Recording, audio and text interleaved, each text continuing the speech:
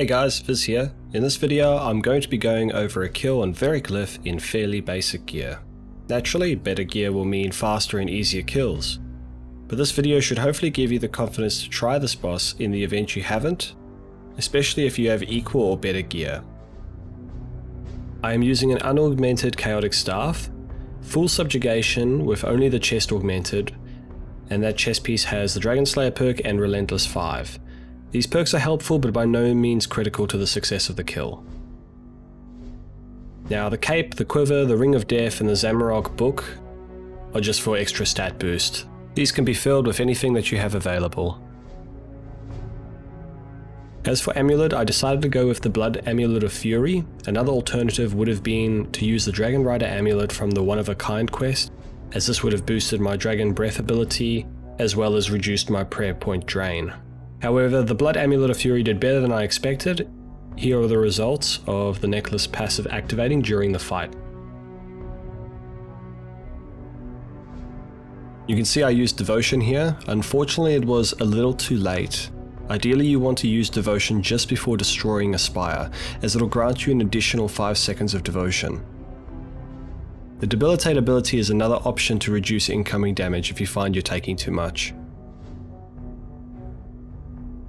After a little practice on this boss, you can start to incorporate prayer flicking between Deflect Magic and Soul Split. You will find that Verak Lith pauses prior to his special attacks and also does fairly slow auto attacks in general. Getting comfortable with prayer flicking will enable you to get no food kills on this boss with relative ease. I chose not to do any prayer flicking in this kill as it isn't necessary when first learning how to do Verak Lith. When using a shield, try to use the highest level shield available, as this will improve the healing amount from resonance.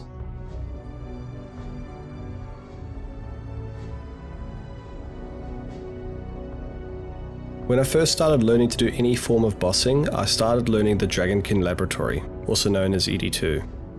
And in my experience I found Verak Lith to be the most difficult boss of the dungeon, and over time to also be the most rewarding boss for improving my mechanics as a player early on. I put this down to the variety of special attacks he uses, and the various ways in which you can deal with them. Learning to kill Verak Lith personally was a very important stepping stone in learning to do a variety of other bosses.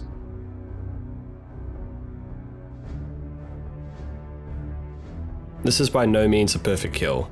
I make many mistakes throughout this fight, including one almost fatal mistake that you'll see towards the end of the fight. Now this is to show that you don't have to be perfect to be able to take this boss down. It's quite forgiving.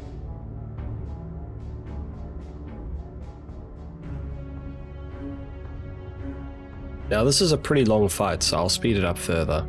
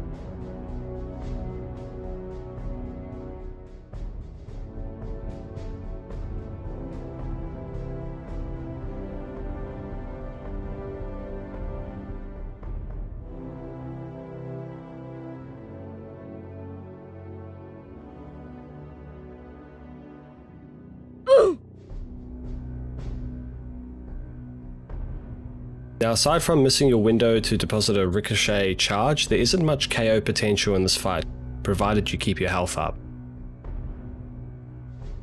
More often than not, Verak Lith when you're first starting is a bit of a war of attrition, so make sure you've got a lot of food, uh, ideally a beast of burden, fill it up with food. It doesn't have to be a pack yak, but the more food you have, the more room there is to make mistakes and still get the kill.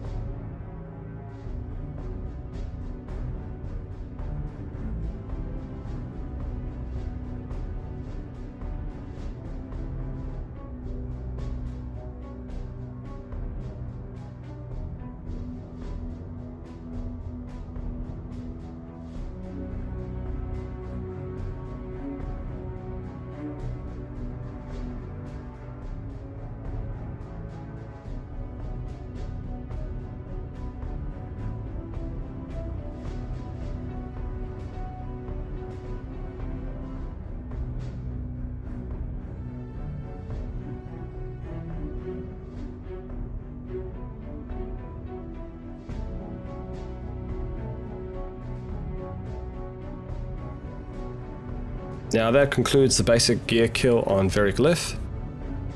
I hope this gives those watching who haven't killed Verak Lith yet the encouragement to at least try this boss. Thanks for watching and I'll see you in the next one.